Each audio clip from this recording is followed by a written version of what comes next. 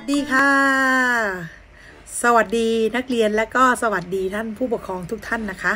วันนี้ก็มาพบกับครูจีแล้วนะคะครูจีก็จะมาสอนเกี่ยวกับเรื่องปฏิมากรรม หรือการปั้นลอยตัวอ่าปฏิมากรรมลอยตัวหรือการปั้นลอยตัวนะคะ นักเรียนเป็นอย่างไรอะเราพร้อมไปเรียนเกี่ยวกับปฏิมากรรมลอยตัวกันหรือยังคะถ้าพร้อมแล้วก็ไป นั ก็พร้อมแล้วนะคะ ถ้าพร้อมแล้วก็มาเรียนวิชาทัศนศิลป์กันค่ะ วันนี้ครูจี ก็จะมาสอนเกี่ยวกับการสร้างสรรค์งานปั้นอีกเช่นเคย แต่เป็นการสร้างสรรค์งานปั้นในรูปแบบการปั้นลอยตัวค่ะลอยตัวลอยตัวลอยตัวอ่าไม่ใช่ลอยตัวแบบนี้นะคะ นักเรียนเป็นการปั้นลอยตัวหรือปฏิมากรรมลอยตัวนะคะอ่า พร้อมที่จะไปเรียนกันหรือยังนะคะ อ่า พร้อมแล้วปอไปดูเลยค่ะ ก่อนที่เราจะไปปั้นลอยตัวกัน เราก็มารู้จักการปั้นก่อนนะคะ นักเรียน อ่า การปั้นนะคะ นักเรียน การปั้นเป็นการสร้างรูปร่าง อะ รูปทรงสามมิติ จากวัสดุที่มีความเหนียวอ่อนตัว สามารถยึดจับติดกันได้ง่าย ส่วนวัสดุที่นิยมนำมาปั้นนะคะ นักเรียนได้แก่ ดินเหนียว ดินน้ำมัน ปูน กระดาษ ขี้เลื่อยผสมกาว หรือขี้ผึ้งปัจจุบันนี้นักเรียนนะคะ มีแป้งโด แป้งญี่ปุ่นนะคะ นักเรียน ซึ่งตอนนี้มีนวัตกรรมอีกมากมายที่มนุษย์สังเคราะห์ขึ้นมา ให้เกิดเป็นวัสดุที่สามารถนำมาปั้นได้หลากหลายชนิด นักเรียนก็สามารถเลือกมาทำงานปั้น ของตัวเองได้นะคะอ่าทีนี้ในก่อนที่เราเรามารู้จักงานปั้นแล้ว เราก็จะมารู้จักอ่าปฏิมากรรมกันนะคะ นักเรียนปฏิมากรรมหมายถึงผลงานศิลปะ ที่แสดงออกด้วยการสร้างรูปรูปทรงเป็นสามมิติ มีประดิมาตรมีน้ำหนัก และกินเนื้อที่ไปในอากาศนะคะนักเรียน โดยการใช้วัสดุชนิดเนี้ยมีแบบ การใช้วัสดุชนิดที่มีปริมาตรนักเรียนมีน้ำหนักมีน้ำหนักนะ และกินเนื้อที่ไปในอากาศ โดยการใช้วัสดุชนิดต่างๆ วัตวัสดุที่ใช้ในการสร้างสารรค์งานประติมากรรมนะคะ นักเรียนจะเป็นตัวกำหนดว่า วิธีการสร้างประติมากรรมนั้นๆ หรือวิธีการสร้างผลงานนั้นๆเอง ความงามของงานประติมากรรมนะคะ นักเรียนเกิดจากการเกิดจากา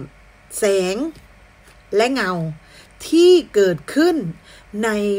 การสร้างผลงานประติมากรรมนั้นๆนะคะอ่า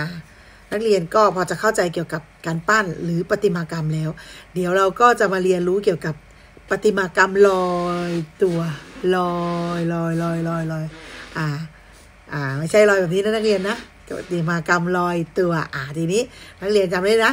ปฏิมากรรมลอยตัวท่องไว้เลยวันนี้เราจะมาเรียน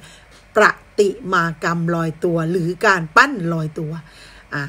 ถ้าพร้อมแล้วก็ไปฟังปฏิมากรรมลอยตัวเป็นอย่างไร พร้อม ๆ กันนะคะ นักเรียนอ่าปฏิมากรรมลอยตัวนะคะ เป็นประเภทหนึ่งของงานประติมากรรมประติมากรรมลอยตัวเป็นรูปต่าง ที่นักเรียนอะเราเนี่ยเราเนี่ยมองเห็นได้รอบๆด้าน รอบๆด้าน รอบๆด้าน รอบๆด้านซ้ายขวาบนหน้าหลังอ่าเราจะเห็นหมดเลยนะคะ นักเรียนมองบนเราก็เห็นนะคะ อ่ารอบๆด้านนะอะทีนี้ได้แก่พระพุทธรูป เทวรูป รูปตามคตินิยม รูปบุคคลสำคัญ รูปสัตว์นะคะ นักเรียน รูปที่เคารพต่างๆ หรืออะหรือและและและภาชนะต่างๆ เราเรียกว่าประติมากรรมลอยตัว อะภาชนะอย่างเช่น พวกแจกันถ้วยชามนะคะ นักเรียน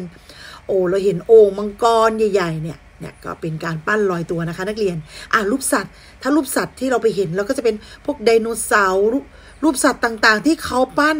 ตามสวนสาธารณะสวนสวนสุขภาพที่เราไปวิ่งกันหรือว่าสถานที่ท่องเที่ยวต่างๆ ตามโรงแรมตามรีสอร์ทก็จะมีประดับตกแต่งไว้นะคะอ่าอย่างเช่น อ่าแล้วแล้วทีนี้รูปพระพุทธรูปเทวรูป อ่าทีนี้เราก็จะไปเห็นรูปต่างๆ แบบนี้ที่ตามวัดอ่าตามตามตามโบสถ์วิหารนะคะ นักเรียนนั้นก็จะเรียกว่ารูปปั้นลอยตัว หรือประติมากรรมลอยตัวอ่าอย่างเช่น ก็หลวงพ่อบ้านแหลมนะคะอ่าหลวงพ่อบ้านแหลม หรือรูปปั้นตามคตินิยมเนี่ยก็จะเป็นรูปปั้นอ่ากับบุคคลสำคัญ รูปปั้นเกี่ยวกับช้างสามเสียนที่นักเรียนไปเห็นอ่าใครเคยไปเห็นเจอช้างช้างสามเสียน พวกประติมากรรมต่าง ๆ เหล่านี้เราจะพบเห็นในสวนในสวนสาธารณะ หรือตามบ้านเรือน ตกแต่งอาคารสถานที่สถานที่ท่องเที่ยว หรือตามวัดนะคะนักเรียน เดี๋ยวเราไปดูตัวอย่างประติมากรรมลอยตัวกันเลยนะคะ นักเรียน อ่าถ้าพร้อมแล้วก็ไป